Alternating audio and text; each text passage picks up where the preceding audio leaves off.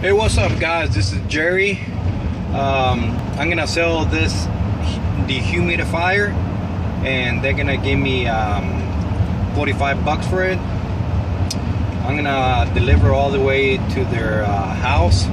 You know, I uh, I was selling it for 40 bucks, but since I'm going that way, I told them that uh, I will I will deliver for five bucks more, and the guy agreed.